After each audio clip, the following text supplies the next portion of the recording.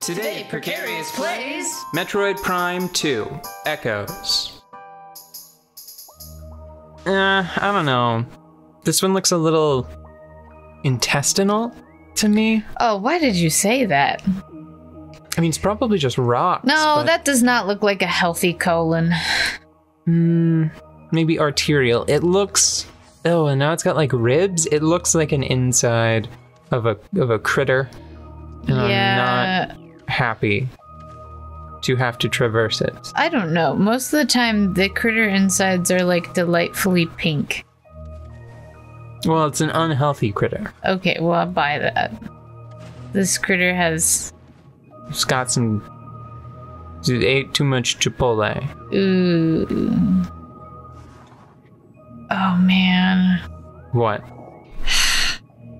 Look at all the little energy details. That's nice. I feel that burrito bowls are one of the finest available foods. And now I want one. Despite the context. It is different. Oh, so it's a tiny one. Man, I'm glad that I thought to scan it. Like something just. Something struck me. It just didn't seem the same. I thought that maybe I'd encountered like the dark world version of the Blogg before. That didn't seem right either. Well, whatever. What matters, what counts, Is that the fork? is one of my numbers went up. Yay. Speaking of numbers go up, Mount & Blade, um, is it is it Mount & Blade Two, Bannerlord? I'm not sure if it's. I'm not sure if it got a number, a fit, a, bleh, affixed to it or not. Um, it's been in development for like a long time, Yeah. and the developers gave it an official release date, which is in just a couple of months. And it's been like a couple of years since I last played it. Yeah. So I was like, oh, well, I'll do that thing that I like to do with early access games sometimes where I'll like, I'll play it now. And then whenever they do like uh, the, the big release, then I can play it again. And it's like playing not like two games, but like one and a half games. Yeah. You know? Because you get like that final, like before and after shot. Yeah. I do that with book series. Uh, It's not quite the same, but I'm a little bit worried. oh, yeah. are you worried that you're going to get 1.1 games instead of 1.5 games? That is an excellent summary. Thank you. yeah, there are so like most annoying just just off of the top of my head. Uh I There are features that are hinted at and referenced and at the very least I hope that they like remove those before like a- alongside a larger release mm-hmm. astute players that have been following development for a long time will probably still be agitated, but at least you won't have like this huge wave of people that are like, oh, God, like I kind of don't want to give any examples, you know? Mm-hmm. Okay, uh, because then it's then it's like. I've I've revealed the deception. It's it, uh, what, you want what's to it called? preserve the It's deception. The, the Streisand effect. Uh, never heard of that. I'm pretty sure the Streisand effect, it's like trying to hide information, you end up um, popularizing it. Like, I'm pretty sure that Like, as in the Barbara Streisand? yeah, she was a photo.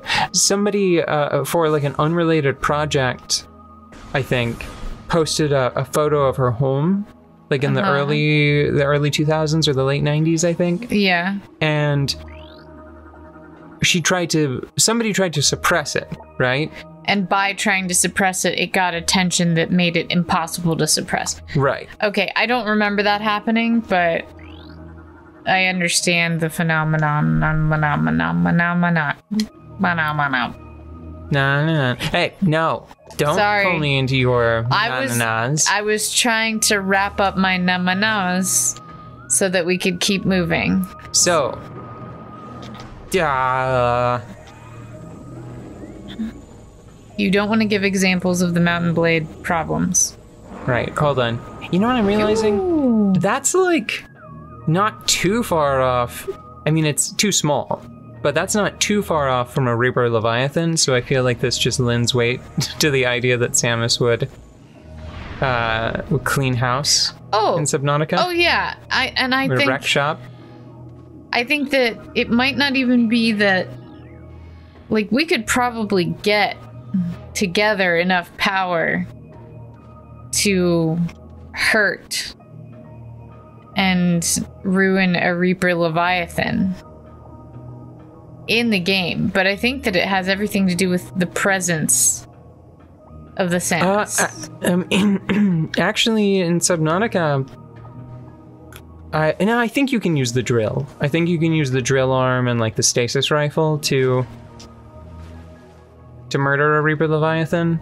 But I think even then, it still takes a really long time, just because like the developers really don't want you to do that. You know?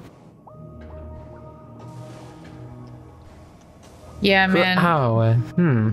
Those developers for Subnautica, Yeah. those they're sons of bitches. yeah. Like I'm convinced now. Like Yeah. I was having such a good time. I'm like, no, uh, uh, no.